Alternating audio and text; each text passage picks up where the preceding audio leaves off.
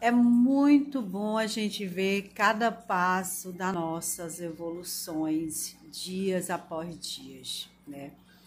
Nessa data do Dia das Mães, eu quis mostrar aí, né, um pouco de mim nessa minha segunda gravidez, né?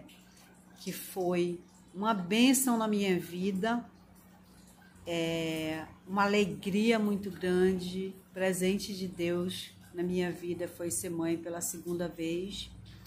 Mas como mulher, né, minha segunda gravidez eu estava bem triste, com excesso de peso, né, e depois acabei conquistando aí de novo, graças a Deus, o meu processo de emagrecimento, que toda mulher merece isso. Toda mulher merece o seu processo de felicidade, todo, todo, todo, todo, né?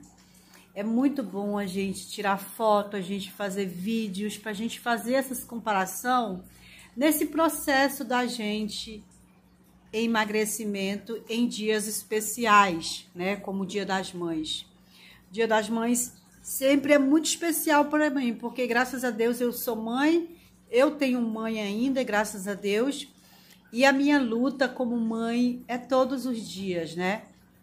Mas uma das coisas que é mais impressionante para mim é sempre minha autoestima, que eu tenho que estar tá bem comigo mesma para poder cuidar das outras pessoas. Né? Não é fácil, nossa dificuldade, a nossa luta é todos os dias, diária, e é muito bom a gente fazer aquela comparação de todo o nosso processo, né, da nossa vida aí em relação à autoestima nesses dias especiais que são os dias das mães, né?